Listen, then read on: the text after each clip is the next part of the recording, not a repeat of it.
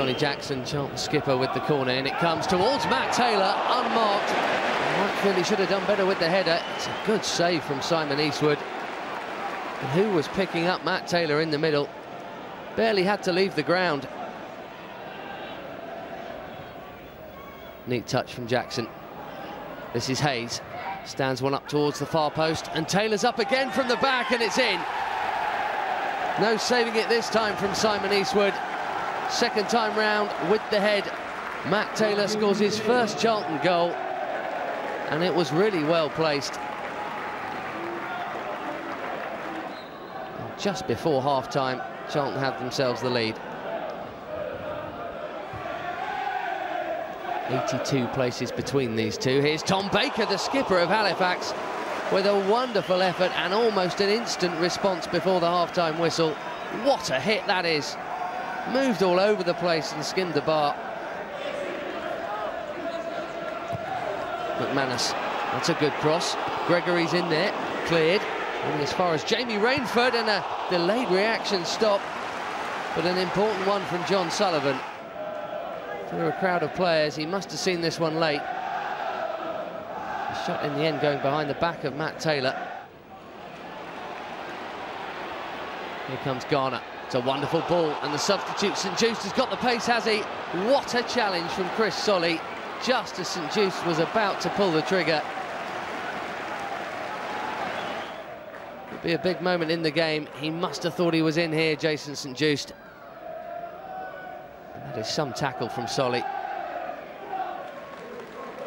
He did well to come away with the ball at the end of it as well. Wagstaff Deflection on the cross. It's got through to Hayes. There's Jackson calling for it. Jackson gets it. Johnnie Jackson has it where he wants it on his left foot, and now it's in the back of the net, and even with 20 minutes left, that looks like game over. No real celebration from the Charlton skipper. There's the cushion he and his side needed. It's 2-0. Eighth goal of the season from Johnnie Jackson bar a couple of little deflections.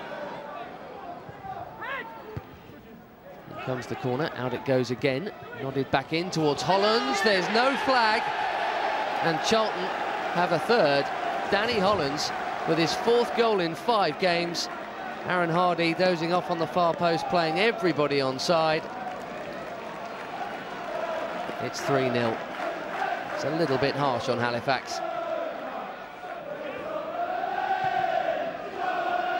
Lowe rather waiting for that one and then wading in with a pretty unpleasant looking challenge on Wagstaff. I think he's going to be in trouble here.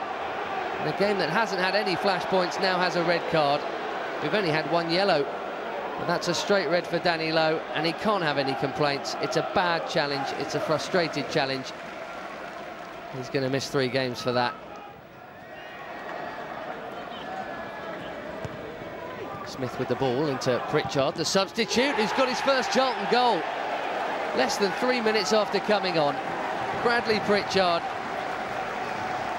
making the scoreline look like a very comfortable day for Charlton. It wasn't for a while, it is now. His first goal in Charlton Athletic colours. They're cruising through here in the end past Halifax and Chris Powell's success story of the season rolls on and on and into round two.